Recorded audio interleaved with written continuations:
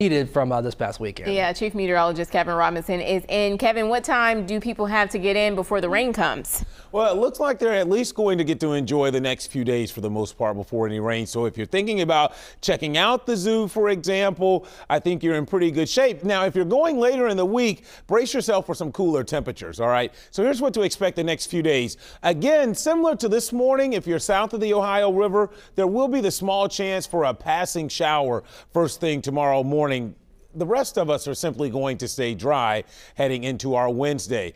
But that front will bring in cooler weather for Thursday, and I think we all face a much greater rain chance by the weekend, and that's when most of us will actually see our first real shot at some wet weather. So here's a talk about cooling temperatures off some. Tomorrow we're still in the mid 60s, but we take about a 10 degree tumble on Thursday. We'll only be in the 50s for highs. And then heading into the weekend, I think we're going to hover somewhere close to 60 with clouds and well increasing rain chances as you see here behind me. So there's your low end rain threat for areas south of the river tomorrow morning. You don't have to worry about rain Thursday and Friday. And right now, honestly, it's a 50 50 shot at some wet weather for the weekend. But I do want to just bring that to your attention. Again, this weekend, it looks like we're timing out the arrival of wet weather.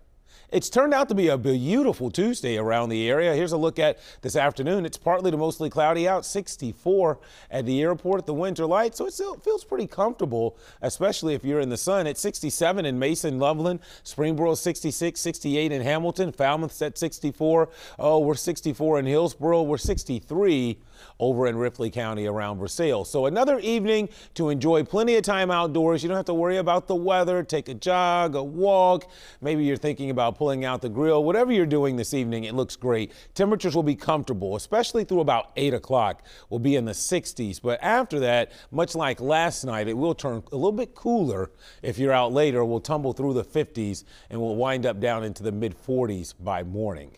So there's that little area of rain you see diving to the south that clipped some of our southernmost communities this morning. Now we're just left with partly to mostly cloudy skies.